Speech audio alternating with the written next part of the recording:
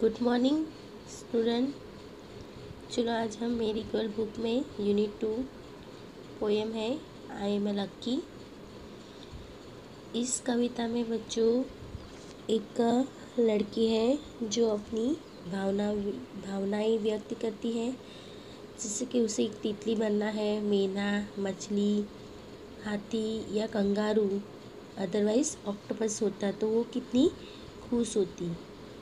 कि इन जैसे और वो भगवान को धन्यवाद कहती। कि उस, वो अपने आप को एक भाग्यशाली मानती है। तो थोड़ा, चलो हम कविता रीड करते हैं। फिर उसे समझने का प्रयत्न करेंगे okay I am lucky if I were a butterfly I will be thankful for my wings If I were a mina in a tree, I would be thankful that cool could sing. क्या कहना चाहते बच्चे यहाँ पर? कि if I were were a butterfly अगर मैं एक बटरफ्लाई होती ओके क्या कहना चाहते हैं? कि मैं एक बटरफ्लाई होती तो मैं मैं अपने पंखों को विंग्स विंग्स मतलब के पंख पंखों को थैंक यू कहती थैंकफुल कहती ओके अगर मैं मीना होती मीना होती तो मैं अपने सिंगिंग को, मैना होती, अगर मैं पेड़ पे बैठी, मैना होती तो मैं मैं गा सकती ओके तो मैं धन्यवाद कहती। में बच्चों? कि if I were a butterfly I would be thankful my wings अगर मैं बटरफ्लाई होती तो मैं अपने पंखों को थैंक यू कहती। अगर मैं एक पेड़ पे बैठी हुई मैना होती तो मैं अपने गाने को धन्यवाद कहती। ओके फिर आगे if I were a fish in sea fish sea okay अगर मैं एक दरिया में तैरती हुई मछली होती तो I would be thankful that I can wiggle and giggle with glee मतलब कि विगल विगल मछली को देखा है आपने? कभी भी आ, कभी दरिया में तैरते हुए वो ऊपर नीचे ओके इस तरह से दौड़ती रहती है कि तैरती है है ना? विगल विगल ग्री करती है। ये एक मछली फ़िश होती है, जो समुद्र में तैरती हुई मछली होती है, उसे एक उत्साह होता है ओके इसलिए वो अपने आप को थैंकफुल कहती okay so I just think I am a lucky to be me not you but me if I were an elephant अंत में क्या कहते हैं कि just I think I am a lucky to be me मैं बहुत ही भाग्यशाली हूँ। आप नहीं बट मैं। क्यों यहाँ पर भाग्यशाली? If I were an elephant अगर मैं एलिफेंट होती तो बहुत ही भाग्यशाली होती। यदि मैं हाथी होता एलिफेंट मतलब कि हाथी होती तो बहुत ही भाग्यशाली होती। क्यों भाग्यशाली होती? तो I would be thankful that I can raise my trunk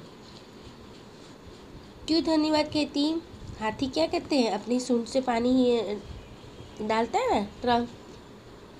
raise my trunk क्योंकि अपना अपनी सूंड उठा सकती है ना? इसीलिए मैं धन्यवाद देती हूँ। फिर नेक्स्ट है if I were a kangaroo I will try to hop hop मतलब कि कूदना। अगर मैं कंगारू होता ओके अगर मैं कंगारू होती तो ऊपर चाँद तक उछलने का प्रयास करती देखो यहाँ पर if I were kangaroo will try hop right up to moon चाँद तक उछलने का प्रयास करती। समझ में आया बच्चों? फिर if I were and octopus I will be thankful for my eight arm octopus को कितने आर्म्स होते हैं? एट आर्म कितने होते हैं? एट आर्म तो अगर मैं एक ऑक्टोपस होती तो मैं अपने इट्स आम को थैंकफुल कहती। समझ में ना? क्यों थैंकफुल कहती? अष्टभुजा होते ना? एक, दो नहीं, पर आठ भुजाएँ होती इसलिए मैं धन्यवाद देती, ओके? इसलिए बस it so I just think I am lucky to me not you but me अगर इसलिए मैं बस इतना ही सोचती हूँ कि तुम जैसी नहीं, बल्कि मैं अपने जैसी हूँ। Okay what do you think you want to be do you want to be like me और जस्ट यू जस्ट यू अब यहाँ क्या करें कि तुम what do you think you want to be तुम मुझे एक बार बताना चाहते हो कि do you want to like me तुम मेरी तरह बनना चाहते हो? या केवल अपनी तरह, केवल अपनी ही तरह। देखो बच्चों, या इस पोएम में आए एम लकी हम हम जैसे हैं, वैसे ही ठीक है, ओके? क्या बोल, बोलना चाहते हैं कि हम जैसे हैं, वैसे ही ठीक है, ओके? हम वैसे ही लकी हैं। अगर आप आप अपने आप में ही खुश हो, आप दूसरों की तरह बनना चाहते हो, नहीं बनना चाहते, हैं ना? हम कभी भी दूसरे की तरह नहीं बनना चाहते। हम अपने आप में ही सही है ऐसा इस कविता में कहना चाहती हूँ। आई एम लक्की क्या है? चलो एक बार मैं कविता आपको अच्छी तरह फिर से पढ़ के दिखाती हूँ। If I were a butterfly I would be thankful for my wings if I were a mina in a tree, I would be thankful that I could sing. If I were a fish in a sea, I would be thankful that I can wriggle and giggle with glee. So I just think I am lucky to me. मैं बहुत lucky हूँ क्योंकि मैं मैं हूँ not you but you मैं तुम्हारी तरह नहीं बट मैं अपने ही तरह हूँ okay okay?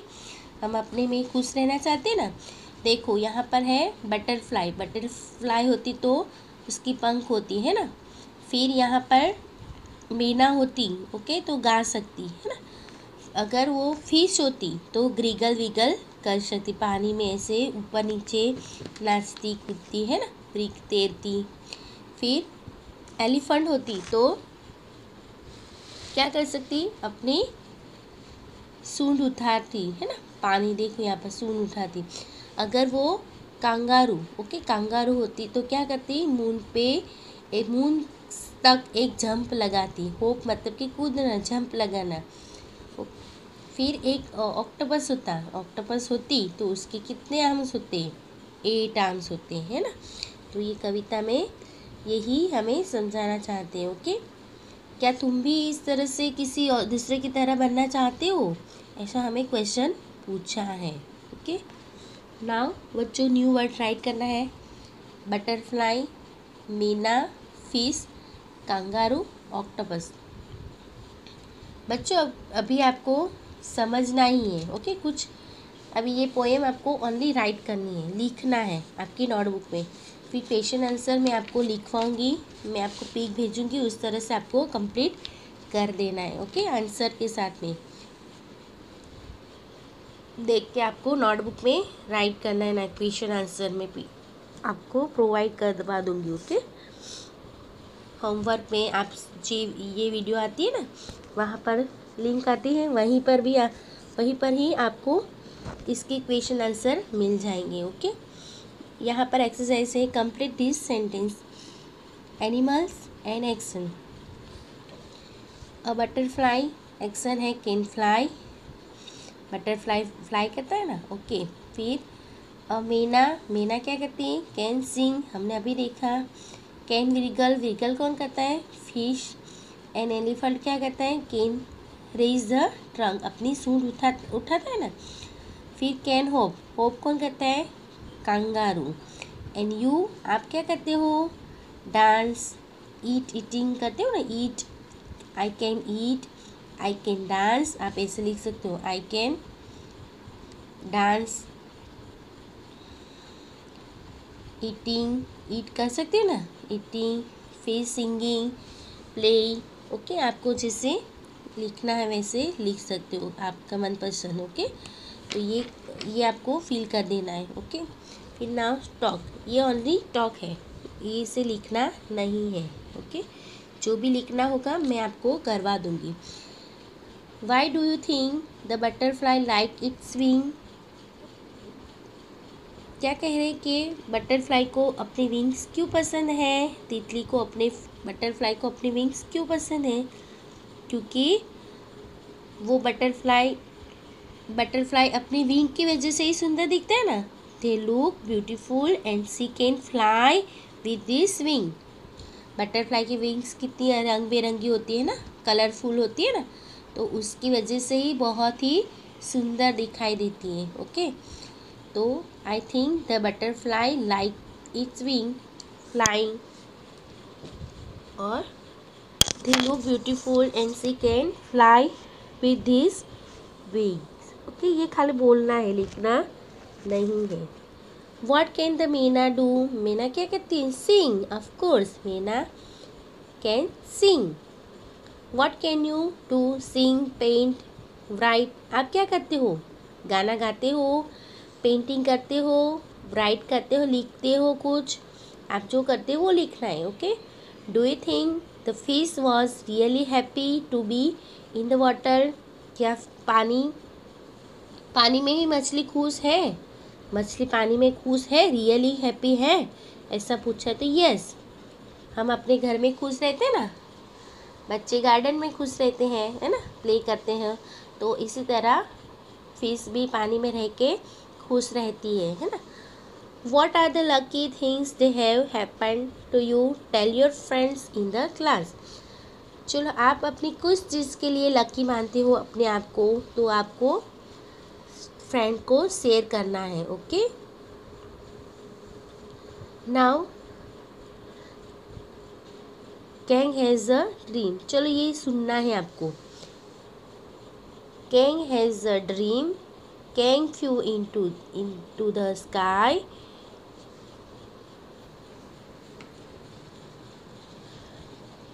Kang has a dream.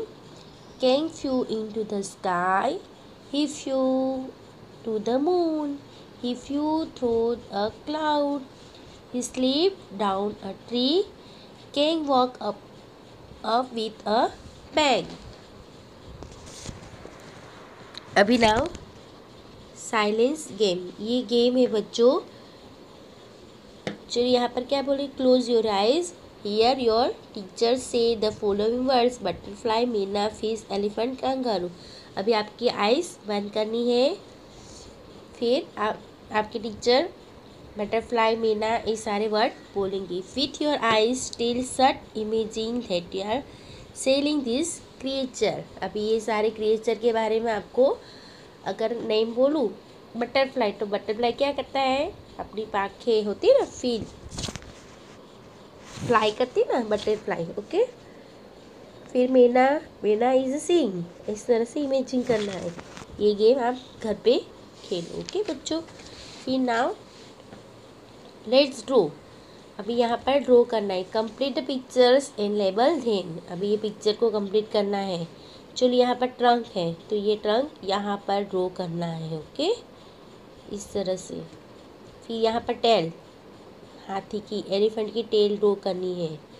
Okay फिर ईयर ये ईयर है ना? इस तरह यहाँ पर ड्रॉ करना है ओके फिर लेग तो है पूरे ओके कंगारू के लेग यहाँ पर ड्रॉ करना है ऊपर। ये ओके तो ये ड्रॉ करो और इसके नेम लिखो। यहाँ पर टेल ईयर ट्रंक ईयर और लेग ओके अंडरस्टैंड इट बच्चों? ये कांगारू के ईयर्स ओके यहाँ पर एस होगा। ईयर्स दो कान है ओके और ये लेग लेग्स ओके दो लेग्स है ओके ईयर्स और यहाँ पर ईयर एक ही ear okay understand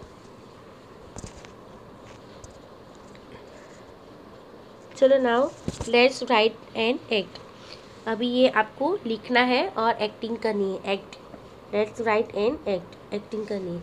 Fill in the blank using the hint word given below. If I were a kangaroo, I would hope. Kangaroo क्या कहता है? होप मतलब कि जंप करना, ओके? कूदना। If I were a tiger tiger क्या करता है? तो रोर करता है है ना? If I were a fish fish होती तो क्या करते हैं? सिंग एंड बर्ड होती तो fly if I were a bird I would fly चलो बच्चों, यहाँ पर एक्सरसाइज है say aloud say aloud octopus. क्या पढ़ेंगे इसे? Octopus. Butterfly. Butterfly, elephant. Elephant kangaroo. Kangaroo. इस तरह पढ़ना आपको सीखना है। है ना बच्चों? फिर let's draw complete this pictures and draw the some plant shell stone and fish तो आपको इसमें क्या करना है? इसको इस तरह से लाइन बनानी है कंप्लीट करना है, देखो। फिर इसमें कलर करना है ओके फिर दरियाई दरियाई मछली होती है ना? तो उसमें क्या होता है? सेल होती है स्टोन होती है फ़िश होती है। तो यहाँ पर थोड़ा सी जैसा पिक्चर ड्रॉ करना है ओके आपको दिखा दूँ मैं आपको सी कैसे पिक्चर आपको ये पिक्चर होता है ना? सी का पिक्चर, ओके? दरियाई झील, ओके? ऑक्टोपस पानी में रहता है। तो वैसे ड्रो करना है कलरफुल करना है। चलो यहाँ पर फिल इन द ब्लैंक है। Add ful to the words given in the bracket and complete the sentence अब यहाँ पर फिल इन द ब्लैंक है। फिल इन द ब्लैंक में क्या करना है बच्चों? फूल ऐड करना है F U L ful ful add करना है। किसमें ऐड करना है? ये ब्रैकेट में है ना वर्ड चलो यहाँ पर हेल्प तो हेल्प फिर मैं ये फूल लिखूँगी. तो हेल्पफुल बन गया ओके तो यहाँ पर वो वर्ड लिखना है.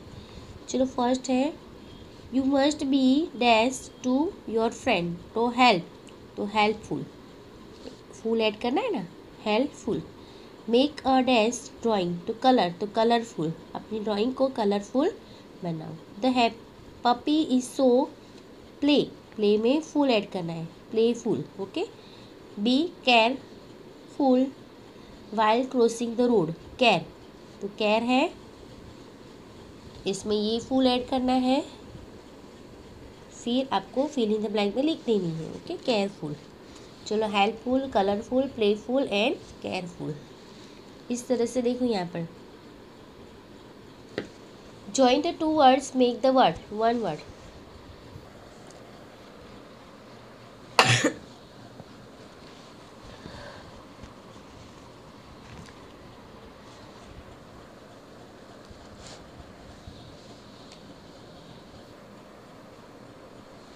इस तरह से आपको लिखना है थोड़ा बहुत, है ना बच्चों? चलो ये हमारा लेट्स प्रैक्टिस ये प्रैक्टिस आपको कंप्लीट करती है कर्सिव राइटिंग प्रैक्टिस है ओके फिर हम नेक्स्ट चाहेंगे आई वॉन्ट जो स्टोरी है नेक्स्ट चैप्टर पढ़ेंगे ओके आज के लिए इतना ही। ये आपका सारी टेक्स्ट बुक में ख़त्म करना है। वर्कबुक में और नोटबुक में कैसे लिखना है, मैं पिक्चर आपको भेज दूँगी ओके तो आपको करना है। ओके बाय बाय से केयर सी यू अगेन